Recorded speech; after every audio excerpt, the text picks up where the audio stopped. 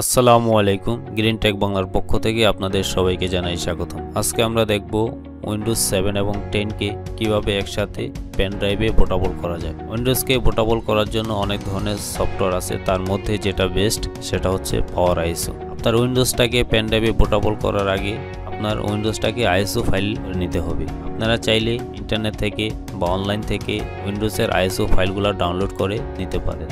যদি আপনি কোনো সিডি বা ডিভিডি থেকে উইন্ডোজটাকে কপি করে থাকেন, তাহলে কীভাবে উইন্ডোজটাকে আইএসও ফাইল করবেন? আজকে আমি আপনাদের সেটাও দেখাবো।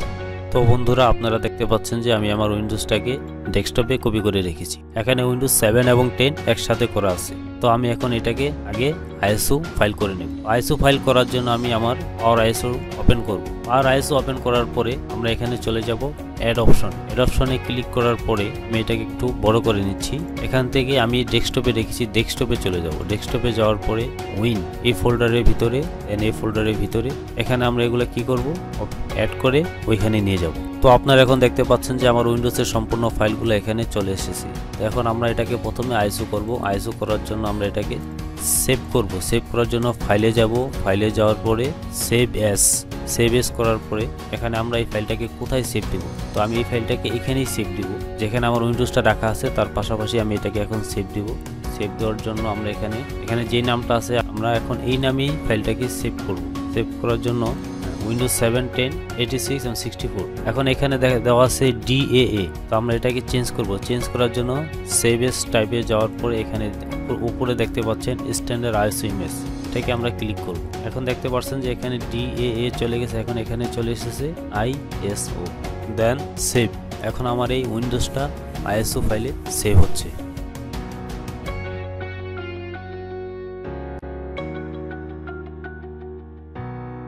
তো আমার উইন্ডোজটা এখন আইএসও ফাইলে সেভ হলো। তো আমি এখন এটাকে কেটে দিচ্ছি। তো এখানে গেলে আমরা দেখতে পারব। যে এখন আপনারা দেখতে পাচ্ছেন যে এই যে এখানে উইন্ডোজ সেভেন এবং টেন একসাথে আমরা আইএসও ফাইলে সেভ করে নিয়েছি। তো এখন আমরা দেখব যে কীভাবে এই উইন্ডোজটাকে পেন ড্রাইভে বোটাবল করতে হয়। এখন দেখুন, আমার এই আইএসও ফাইলটা প্রায় দশ জিবির উপরে আছে। সুতরাং আমার যে পেন ড্রাইভটা এখন ইউজ করতে হবে সেটা অবশ্যই দশ জিবির উপরে অর্থাৎ ষোলো জিবি পেন ড্রাইভ হতে হবে। তো আমি আমার পিসিতে অলরেডি একটি ষোলো জিবি পেন ড্রাইভ কানেক্ট করেছি। তো এখন আমরা প্রথমে পেন ড্রাইভটাকে ফরম্যাট করব। ফরম্যাট করার জন্য আমরা এখানে চলে যাব। তো আপনারা দেখতে পাচ্ছেন যে এখানে আমার পেন ড্রাইভটা শো করছে। তো এখানে রাইট মাউস ক্লিক করে ফরম্যাট ফরম্যাট করার সময় আপনারা খেয়াল রাখবেন, আপনার ফাইলটা যদি ফোর জিবির উপরে থাকে, অর্থাৎ যে কোনো ফাইল ফোর জিবির উপরে হলে যদি সেটাকে পেন ড্রাইভে আপনি ঢোকাতে চান, তাহলে অবশ্যই এখানে এনটি এফএস মোডে ফরম্যাট দিতে হবে। তো এখন আমি এনটি এফএস মোড করে নিয়ে এখন এটাকে ফরম্যাট করব।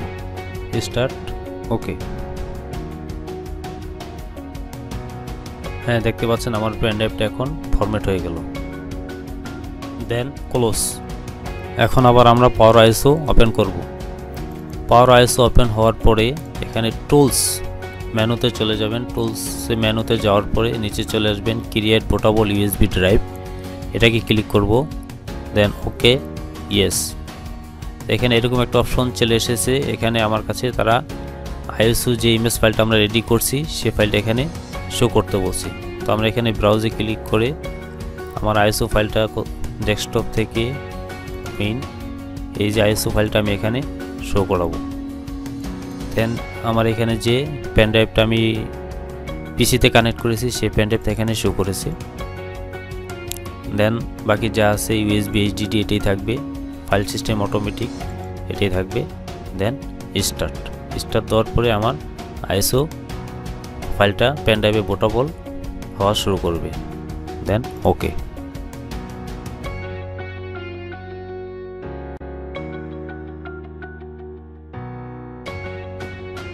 তো বন্ধুরা, আপনারা দেখতে পাচ্ছেন যে আমার উইন্ডোজটি পেন ড্রাইভে বোটাবল হয়ে গেল।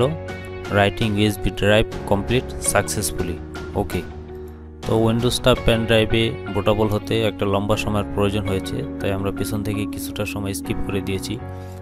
তো আপনারা দেখলেন যে কীভাবে? খুব সহজেই একটা উইন্ডোজকে আইএসও ফাইল করা যায় এবং আইএসও ফাইলটাকে কীভাবে পেন ড্রাইভে বোটাবল করা যায়।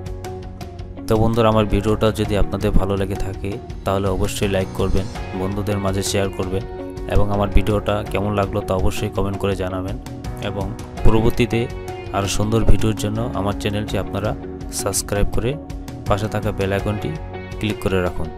ধন্যবাদ।